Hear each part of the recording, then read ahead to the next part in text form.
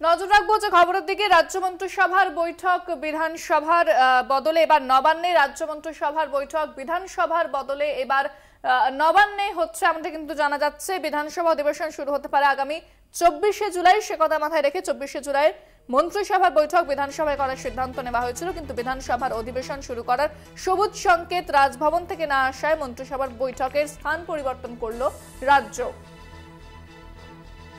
বিস্তারিত কথা বলব। ফোনে রয়েছেন আমাদের বিশেষ প্রতিনিধি দীপ্তিমান ভট্টাচার্য। দীপ্তিমান, ঠিক কি জানতে পারছ?